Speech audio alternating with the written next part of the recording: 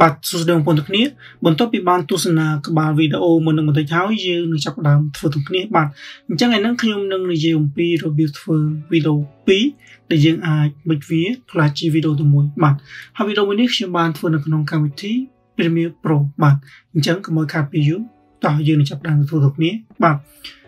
អញ្ចឹងសូមបងប្អូនបើកកម្មវិធី Premiere Pro មកយើងនឹងចាប់ផ្ដើម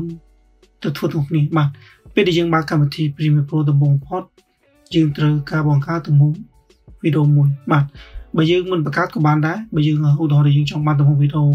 ដែលយើងថតកម្រិតប៉ុណ្ណឹងយើងមិនបាច់បង្កើត sequence ក៏បានដែរយើងគ្រាន់តែចាប់ទិញវីដេអូយើងដាក់ចូលនៅកន្លែង timeline គឺអូខេដូចគ្នាបាទអញ្ចឹងសម្រាប់ដែលយើងចង់រក្សាទំហំវីដេអូយើងក៏តែបើយើងចង់បានទំហំវីដេអូផ្សេងឧទាហរណ៍ថាយើងចង់បានទំហំវីដេអូ picture ឬក៏ទំហំ Full HD គឺយើងត្រូវការបង្កើតទំហំវីដេអូ ផ្សេងបាទទៅបង្កើតទំហំ sequence មួយទៀតបាទអញ្ចឹងឧទាហរណ៍យើងចង់បានទំហំ Full HD យើងគ្រាន់តែ click កន្លែង new item sequence តោះទៀតចូលកន្លែង new sequence ហ្នឹងគឺយើង click កន្លែង digital បាទ digital 18បើកទៀតមកកន្លែងក្រោមគេនេះហើយយើង click OK បាទហ្នឹងគឺជាទំហំ Full HD បាទចឹងហើយយើងចាប់វីដេអូយើងមកបាទគឺអញ្ចឹងមកបាទ អវីដេអូនេះដោយសារទំហំវាគឺអដល់92018ហើយគឺ Full HD អញ្ចឹង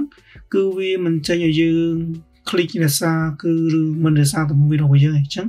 ដោយសារទំហំវីដេអូមួយនេះគឺ Full HD អញ្ចឹងគឺវាត្រូវជាមួយទំហំ sequence នេះចំកាត់មិញបាទអញ្ចឹងយើងទៅជំនាញបន្តទៀតបាទជំនាញបន្តទៀតគឺយើងត្រូវចាប់ទិញវីដេអូមួយទៀតដែលយើងចង់ធ្វើវាមិនចូលវីដេអូទី1របស់យើងបាទអញ្ចឹងយើង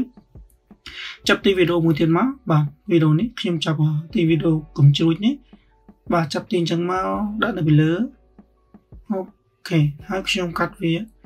បើយើងចង់កាត់វាយើងគ្រាន់តែចាប់ទីអញ្ចឹងមកឃើញអត់ចាប់ទីអញ្ចឹងយើងអាចកាត់បានដូចគ្នាឬក៏យើង click ឡាមយើងកាត់ឲ្យស្មើអញ្ចឹងកាត់បានដូចគ្នាបាទអញ្ចឹងហើយយើង click selection tool កាត់វាអញ្ចឹងមក delete អូខេបាទឃើញអត់បាទ ពេលដែលយើងចាប់វីដេអូមួយទៀតដាក់ទៅលើវីដេអូទី1របស់យើងគឺវាឃើញថាវីដេអូលើអីចឹងអត់គេបងប្អូនគ្នាបាទគឺវាឃើញថាវីដេអូលើអលើទេអញ្ចឹងគឺយើងត្រូវកែសម្រួលវានៅកន្លែង effect control បាទបងផុតយើងคลิกអាវីដេអូអលើហ្នឹងคลิกលើវាមួយហើយយើងមកមើលកន្លែង effect បាទកន្លែង effect control យើងសម្លឹងមើលមកខាងក្រៅបន្តិចគឺវានឹងចេញពាក្យថា opacity បាទកន្លែងនេះឃើញអត់ opacity ហ្នឹងបន្តមកទៀតយើងបើកកន្លែងបើកកន្លែង blend mode បងប្អូននេះកន្លែង blend mode យើងបើកកន្លែង normal នេះមកបើកកន្លែង normal ក៏វាមានច្រើនមានច្រើនក៏តែសូមបងប្អូន click កន្លែង screen បើកកន្លែង screen នេះ click វាពឹងបាទឃើញអត់ពេលដែលយើង click កន្លែង screen គឺវីដេអូលើរបស់យើងគឺវានឹងមិចចូលជាមួយវីដេអូបាទវីដេអូអាក្រឹមរបស់យើងនឹងឃើញអត់គឺវាឃើញស្មាតគ្នាបែបហ្នឹងបាទឃើញបងប្អូនគ្នា ក៏ប៉ុន្តែបើយើងចង់ឲ្យវីដេអូលើហ្នឹងកុំឲ្យវាច្បាស់អញ្ចឹងយើងចង់ឲ្យវាមើលទៅរឿងស្មើស្មើកុំឲ្យវាខ្លាំងអញ្ចឹងពេកយើងអាចសេរីវានៅកន្លែង Fit Control ដូចថាបាទអញ្ចឹងយើងคลิกវីដេអូលើហ្នឹងហើយយើងមកមើលកន្លែង Fit Control តទៅទៀតយើងនេះបាទយើងคลิกលើវាមួយចំคลิกដល់ keyframe វាហើយយើងបន្ថយកន្លែងនេះយើងដាក់វាត្រឹម50%បាទ50%គឺគឺវាធ្លាក់ធ្លាក់ស្មើ ក៏តែបើយើងគិតថាវានៅតែច្បាស់ខ្លាំងទៅយើងចាំបន្ថយយីនឹងទៀតទម្លាក់វាទៀតមកឃើញទម្លាក់វាកាន់តែខ្លាំងទៅវានឹងលែងឃើញឃើញមកឃើញឃើញឃើញស្មើស្មើក៏តែបើយើងចង់ឲ្យវាឃើញច្បាស់យើងតម្លើងវា100%មកឃើញគឺឃើញច្បាស់មកទៅនេះបាទអញ្ចឹងវានេះក៏ជាវិធីងាយៗដែលយើងអាចធ្វើវីដេអូពីរមកចូលគ្នាតែមួយនៅក្នុងកម្មវិធី Premiere Pro បាទ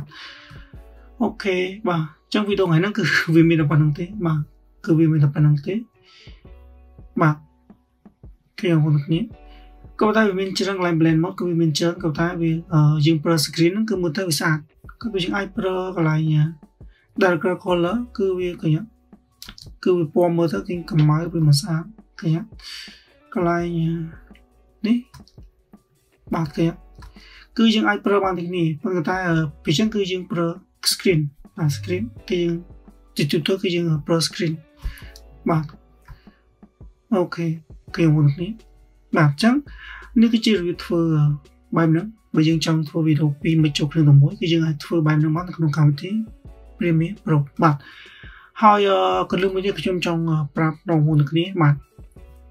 ឧទាហរណ៍ពេលយើងចាប់ទាញចាប់ទាញកន្លែង program sequence ឬក៏កន្លែង timeline ឬក៏កន្លែង project ឬក៏កន្លែង